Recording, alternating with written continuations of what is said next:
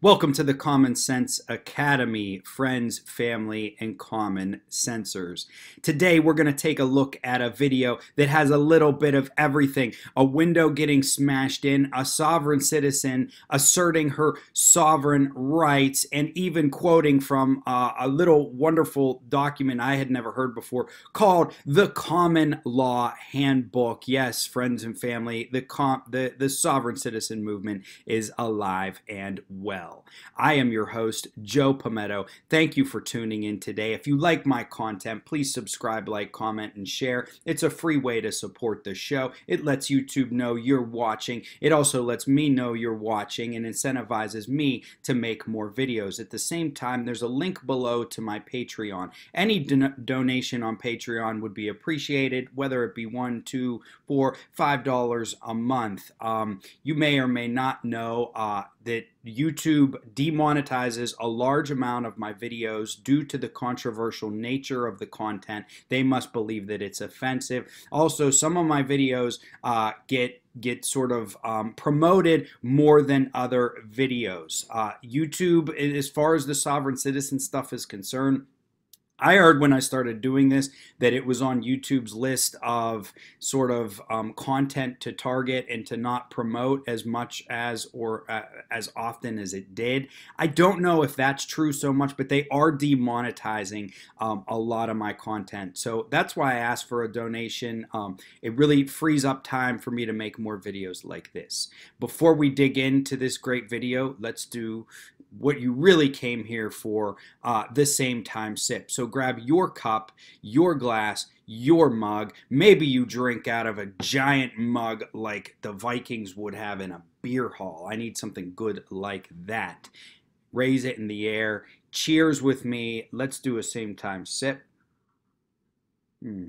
I got a little bit of coffee in that sip. And let's enjoy this video. Sir, is there a threat? Is there a threat to public safety, sir? Ma'am, step out of your vehicle your license, please. Ma'am, Sir? lawful order to exit your vehicle. Are you? And registration for the please. Can you please get your sheriff, the head sheriff? Please get the head sheriff. Get your get your boss, please.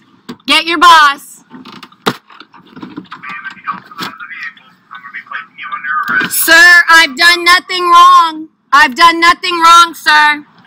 I'm recording you. I've done nothing wrong. Sir, get your boss. Sir, get the head sheriff, please.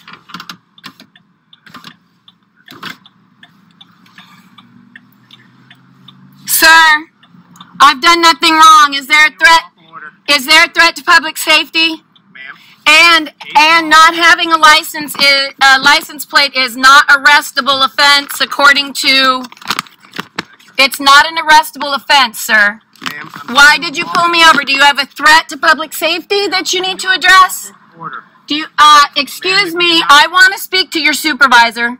Please get your supervisor. Stop. That's fine. Get your So right supervisor. now, No, now. Order to exit the vehicle. I I'm no longer not. speaking to you. Look. Ma'am, if not, Look it. break your window. If you break my window, that's an illegal search and siege. That's illegal. I'm giving you a lawful order to Look. exit the vehicle. Ma'am, You're right now, I'm placing you under arrest I'm- without violence. Am I am I under a custodial arrest or am I free to go? You're not free to Am I under a custodial arrest? I'm arresting you for For what? violence, for refusing my lawful order. I'm not refusing anything. Your license, Look, proof of insurance, you didn't ask me. You just told me to pull over and there's no threat to public safety. Look. I'm telling you right now. Look, let me show you. Let me show you. I'm going to show you something. Right now, this is under notice of motion to federal court. This case is under notice of motion to federal court. Look, signed by a grand jury administrator and timestamped by the courts. Okay? I'm going to show you. It's timestamped by the courts. Right now, you are violating my pursuits to travel. Signed and dated. You see that? Now, sir, I've done nothing wrong, and it's not an arrestable offense to drive without a license plate. I want to see your boss, please. I'm trying to be reasonable here, and I'm You on five? You listen to that? and I'm not doing anything wrong. And I've asked if I could see your boss, please. I already told her she's under arrest I, I cannot be under arrest because there's no injured party. Is there an injured party? Do you have an affidavit and a, an arrest um, warrant? Do you have an arrest warrant? He needs to come from away from there. Also, I have a fencing and posting on my body. I have a fencing and posting that says, do not touch my property, my body. All, lawful sir, enter the vehicle. what lawful order The lawful states order, that you can pull me get out of the over and right illegally search me?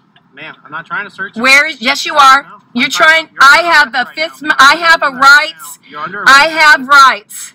And I want to speak to your boss. Fantastic. Once you get I want to speak to your boss. Out of the No, sir, right now, because if you do anything, you will be done the same way right here. You have a bond, you have license and insurance.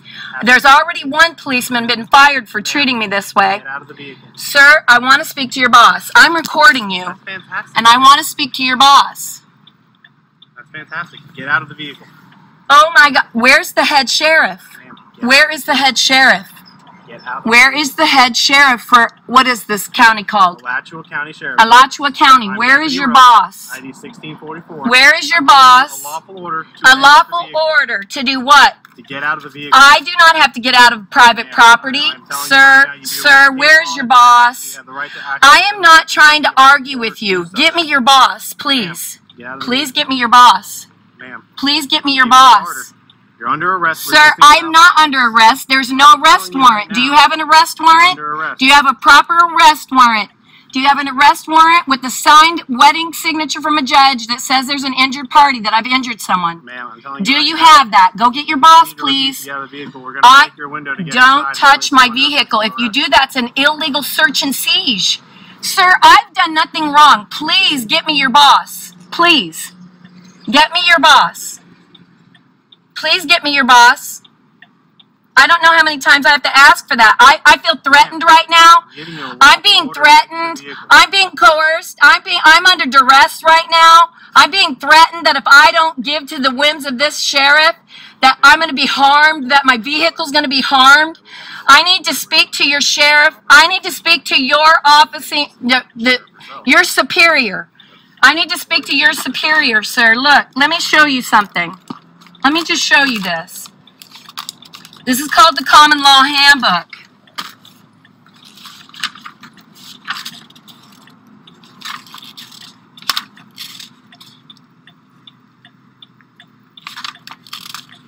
I need to speak with your boss. Arizona tag on the trailer. I need to speak with your boss. You're you're doing something illegal right now. You have a Ma'am, do you duty. your license on you? You have a duty to uphold the Constitution. Keep eyes on her Are you an oath? Are you an oath keeper or a a, fo- a code enforcer? Which one are you? Are you an oath keeper or a, fo- a code enforcer? Which one are you? Because you don't have a right to pull me over and arrest me. I've done nothing wrong. Look, where is your boss? Toss me the charge already. Are you an oath keeper, Sheriff? Sir? Are you an oath keeper? Look, I do not want to argue with you. I've done nothing wrong.